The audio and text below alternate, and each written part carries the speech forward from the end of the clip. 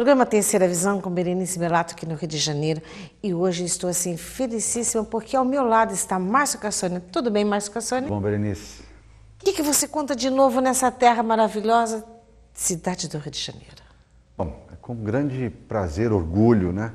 Que estou dizendo que eu estou aqui no Rio de Janeiro com meu companheiro de jornada lá, o Cigano da Praia, ancorando no Rio de Janeiro o 12 uh, eh, cristal da expedição em busca do segundo sol. O que que, que que você tem feito? Porque eu tenho assistido programas seus na televisão, pesquisado os seus sites, você tem andado, na verdade, caminhado, fazendo trilhas por esse Brasil afora, ancorando energia.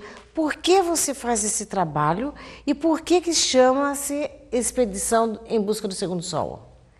Berenice, eu vou falar uma coisa de forma muito ousada aqui e agora, que me ocorreu neste momento. Eu quero que você seja testemunha, Berenice, porque a partir de hoje o Márcio Cações estará escrevendo o livro da expedição em busca do segundo sol. Lá em cima, no Cristo Redentor, me ocorreu uma grande inspiração em que, porque quando eu saí para a estrada, eu não sabia o que ia fazer exatamente. Eu sabia que eu teria que ir para a estrada. Não sabia quem eu ia encontrar, mas eu sabia que iria encontrar. Eu não sabia a ordem dos lugares que eu iria chegar. E fui sabendo na hora. Hoje, no Cristo, por ser o décimo segundo fechamento de um ciclo, me ocorreu umas lembranças onde eu estava no quinto, na quinta, na quinta coragem, na sexta. Cada ponto tem um significado. E esses significados ocorreram em minha mente, minha, no meu coração, esta manhã, lá em cima do Redentor. Então, no décimo segundo ponto, vai começar então esse livro. Nesse livro eu vou explicar, Berenice, exatamente o que significa cada ponto. Em termos pessoais, porque o livro é interessante realmente quando trata da, da saga do observador, que é minha experiência pessoal de morte e renascimento, e da contribuição que esse autor, no caso, está é, trazendo a quem o aprecia, quem examina, quem lê, quem vê pela televisão. Berenice, você é testemunha que esse livro está começando. Bem, eu fico muito feliz porque isso foi revelado aqui no programa Terceira Visão. O programa Terceira Visão sempre está conectado a tudo e a todos aqueles que hoje trabalham para fazer um trabalho de transmutação no nosso universo. Enquanto o livro não sai, porque eu, acredito e sei que vai sair, porque eu conheço já de tantos outros trabalhos que eu assisto, Márcio, enquanto isso não acontece, por que Rio de Janeiro foi, na verdade, o décimo segundo? Se tem alguma coisa a ver com o número 3, fazendo ah, essa, essa ordem numérica, ou se você simplesmente planejou, como foi isso? Eu não planejei, eu não planejo, né? Mas olha só, o Rio de Janeiro, eu não conheci o Rio de Janeiro. Eu já vim várias vezes, mas eu nunca conheci o Rio de Janeiro como eu conheci agora. Eu nunca vi Sinceramente, uma cidade mais linda do mundo, enquanto todas as cidades que eu, que eu viajei, nunca vi uma capital tão linda. E uma beleza que não é. É claro que existe todo o padrão arquitetônico, a cultura, mas é mais que isso. Ela vem do. ela brota do chão e ela explode pelo corcovado. Então não é à toa que ali foi feito o Cristo Redentor. Na verdade, aquele ponto energético já existia no planeta. E o homem ali, né, sensibilizado, plantou ali. Outra coisa que eu achei interessante é que na época em que foi feito o Cristo Redentor, ainda estava numa época, sinceramente, né, bem primitiva em termos de espiritualidade, religiosidade. Ainda se cultuava um Cristo na cruz. Eu não sei como não fizeram um Cristo na cruz. Aí ia ser a, a perdição do Brasil e do mundo, né? Se tivéssemos ali um monumento enorme, sangrando. Fizeram um Cristo aberto, aquilo lá é novo, é, é área de aquários, é o Cristo da nova era, sabe? Enfim, Rio de Janeiro é a capital cultural, não só isso, é, um, é, é de alguma forma um centro irradiador de energia para o mundo, sabe?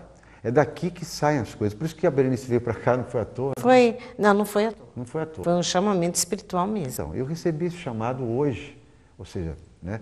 E décimo segundo portal, porque tudo são 12, né? São ciclos de 12 que se fechou e começa uma nova etapa da jornada agora. Pois é, Márcio, enquanto as pessoas estão sentadas carregando uma porção de santinhos, rezando, falando, e a gente respeita isso, tudo acontece lá fora. E quando digo acontece lá fora, é porque nós somos seres sagrados. Todos nós somos seres humanos sagrados, com tanta luz da verdade dentro de cada um de nós, para que nós possamos ter tempo de sair de casa, de sair de dentro desta casa. Não estou falando de construções de, ar, de arquitetos, de engenheiros. estou dizendo dessa forma humana que onde nós estamos hoje parindo um novo tempo. E quando eu falo de parir esse novo tempo, nós precisamos ter a coragem de parar de abortar nossos pensamentos e nossos sentimentos.